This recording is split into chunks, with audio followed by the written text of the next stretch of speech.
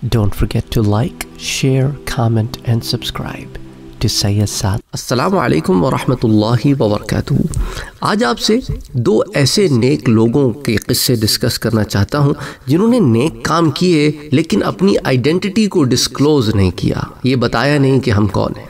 पहला वाक़ तारीख़ तबरी की जिल्द नंबर चार पेज 186 से आपको बताता हूँ ये सन 16 हिजरी का वाक़ है कि मुसलमानों ने मदाइन फ़तह किया। जो माल गनीमत था, उसका माल इकट्ठा किया। इतने में एक शख्स जिसने अपना चेहरा छुपाया हुआ था, जिसे नकाब पोश कहते हैं वो मुजाहिद आया और जवाहरात से भरी हुई एक थैली लाकर माल गनीमत में जमा करा दी। सब बड़ी हैरत से उसे देखने लगे कि इस कदर कीमती जवाहरात और एक गरीब सा नज़र आने वाला सिपाही इसकी नीयत भी ख़राब ना हुई, चाहता तो छुपा लेता, किसी को खबर भी ना होती। तो पूछा गया कि आपने इससे कुछ लिया है? तो वो कहने लगा कि अगर खौफ खुदा ना होता तो ये कीमती थैली मैं यहाँ लाता, सारी की सारी ना हड़प कर जाता। पूछा अच्छा आप हैं कौन? फरमाया, मैं अपना तारुफ नहीं कराता कि कहीं लोग मेरी तारीफ़ और मदह ना शुरू कर दें, क्योंकि तारीफ़ का मुस्तहक तो सिर्फ़ अल्लाह अज्जल है, और वही मुझे मेरे इस अमल का बेहतरीन सिरा दे सकता है। ये कहकर चल दिया। अब पीछे जो लोग थे, उन्हें तजस्स हुआ कि आखिर ये आदमी है कौन? तो उनमें से कुछ लोगों ने इनका पीछा किया। करते करते उन्होंने देखा कि जहाँ बड़ी फौज होती है तो मुख्तलिफ़ जगह पे कैंप्स होते हैं किसी कैंप्स के अंदर ये दाखिल हो गए। तो वहाँ पर जो लोग मौजूद थे, उनसे उन्होंने दरियाफ्त किया कि ये शख्स जो अभी फला टेंट में दाखिल हुआ है, ये किसका टेंट है? इसमें कौन रहता है? तो उन्होंने कहा कि भाई, ये तो आमिर इबन अब्द हैं। और आमिर इबन अब्द जो हैं, ये जलील कदर और मशहूर ताबई हैं, जो जाहिद, बहुत बड़े जाहिद थे शब बेदार थे, रहते थे। और महाज जंग में बहुत ज़्यादा जोहर भी दिखाते थे। तो बहरहाल, ये उनका वाक़ है कि जो नेक लोग होते हैं, वो नहीं चाहते कि लोग उन्हें जाने। और बस ये काम है वो हम करते हैं ख़त्म हो गई बात। अच्छा इसी तरह फ़तेह मदाइन ही के इसी मौरक़े में एक और नकाब पोश शख्स का भी वाक़ आता है। वो सिपाही जो है एक कीमती जवाहरात से आ, लगे हुए एक बहुत बड़ा ताज जो है वो अपने दामन में छुपा कर हज़रत साद इबन अबी वक़ास के टेंट में दाखिल हुआ और अर्ज़ करने लगा कि या अमीर आ, ये कोई बहुत कीमती चीज़ मालूम होती है तो मैंने सोचा कि डायरेक्ट आप ही के हवाले कर दूँ ताकि आप इसे बैतुलमाल में दाखिल कर दें। मुसलमान अमीर हैरत से उसे देखने लगे और पूछने लगे कि भाई तेरा नाम क्या है? उसने दरवाजे की तरफ़ मुँह करके, अमीर की तरफ़ पीछ करके कहा, जिस रब के लिए मैंने ये काम किया है, वो रब खूब जानता है कि मेरा नाम क्या है। और ये कहकर वहाँ से रवाना हो गया। ऐसे लोग होते हैं भाई, जो नेक काम करते हैं और चाहते हैं कि कोई उनको जाने ना। अच्छा इसी तरह उमवी सरदार थे एक, उनका नाम था मुसलमा बिन अब्दुल मलिक।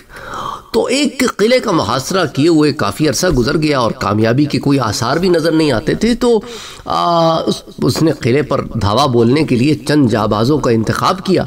फिर लोगों ने देखा कि एक जवान तीरों की बारिश और दुश्मनों की सफ़ों से आग के बरसते शोलों में जान हथेली पर रखे दीवानावार किले की तरफ़ बढ़ता चला जा रहा है और बिला आखिर वो किले की दीवार के पास पहुंचकर उसमें नकब लगाने में कामयाब हो गया। इस्लामी लश्कर किले में दाखिल हुआ और किला फतह हो गया। अब हर निगाह उस शख्स को ढूंढती थी कि आखिर वो शख्स कौन है, जिसकी वजह से हमें यह किला आज फतह करने का मौका मिला। मगर उसे ना कोई जानता था, ना पहचानता था कि वो नकाब पोश था। अब उसके बाद मुस्लिमा बिन अब्दुल मलिक जो है उन्होंने जो है, लोगों से पूछा, भाई लश्कर से कहा कि मुझे उस नकब लगाने वाले जाबाज का बताओ, वो कौन है? तुम में मौजूद है तो सामने आए। अब पूरा लश्कर जो है, उस पर सन्नाटा तारी है और कोई सामने नहीं आता।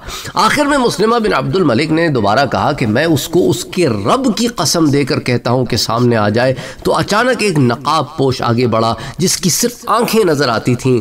मुस्लिमा के सामने आकर खड़ा हुआ और कहने लगा, मैं हूँ वो नकब लगाने वाला। अगर आप मुझे मेरे रब की कसम ना देते तो मैं कभी अपने आप को ज़ाहिर ना करता। अब मैं भी आपको आपके रब का वास्ता देता हूँ कि मुझसे मेरा नाम ना पूछना। अगर आप जान भी लें तो किसी से ज़िक्र ना करना कि मैं कौन हूँ। इसलिए कि मैंने ये अमल उस ज़ात के लिए किया है, जो मुझे आपसे ज़्यादा अता करने पर कादिर है। और इस वाक़े के बाद मुस्लिमा बिन अब्दुल मलिक जब दुआ करते तो फरमाते साहिब नक़ब। ए अल्लाह, मुझे नक़ब वाले मुजाहिद के साथ कर दे। इस वाक़े को अयूनुल अखबार की जल्द नंबर एक सफ़ा 172 पर बयान किया गया है। आप मुझसे पूछे ना तो जब मैंने चैनल स्टार्ट किया था 2010 में तो 2010 से लेकर मेरे ख्याल से 2017 या 2018 तक मैंने भी यही कोशिश की कि दीन का इल्म आप तक पहुँचता रहे और मुझे कोई ना जाने। और उस वक्त मैं इसी इसी वजह से जो है ना एक एक डिफरेंट थॉट प्रोसेस था जिसके थ्रू काम होता था। उसके बाद लोगों ने बहुत ज़्यादा इसरार करना शुरू किया। तो फिर मैंने एक तस्वीर रिलीज़ की या समथिंग लाइक दैट और उसके बाद लोगों ने इसरार किया कि आप वीडियो की सूरत में आए। उसको भी मैं काफ़ी अरसे तक टालता रहा लेकिन ज़रूरत है इस वक्त की। इस वजह से फिर डिस्क्लोज भी किया और आया भी, और वीडियो भी रिकॉर्ड कराई कि मैं कौन हूँ। कि लोग जानना चाहते थे कि भाई, हम इल्म तो ले रहे हैं, हम जानना भी चाहते हैं कि आप कौन हैं आप वो देखना चाहते हैं। लेकिन सच बताऊँ, मेरा दिल अब भी यही करता है कि काश गुमनाम रहते हुए इस इल्म को मैं पहुँचा सकूँ कोई ना जाने। क्योंकि देखे ना असल मकसद तो इल्म का पहुँचा देना है। जो इल्म पहुँचा रहा है उसे जानना तो बेमकसद चीज़ है ना। तो इसलिए इल्म का पहुँच जाना ये ज़्यादा ज़रूरी काम है बजिस इसके कि उसको जाने कि वो कौन है जो इल्म दे रहा है। एनीवे anyway, मेरी एक ये ख्वाहिश थी अल्लाह ताला ने बहुत अरसे तक इसे मेरी इस ख्वाहिश को पूरा भी किया। लेकिन शायद वक्त की ज़रूरत थी इसलिए शायद अब ये एक चीज़ हो जिसके ज़रिए लोग हो सकता है ज़्यादा अहसन तरीके से दीन सीख सकते हों। लेकिन एनी anyway, हर एक का एक सोचने का ढंग होता है। आप इख्तलाफ कर सकते हैं सोचने के ढंग से। आपको राय है आपको बिल्कुल आप इसमें आज़ाद हैं।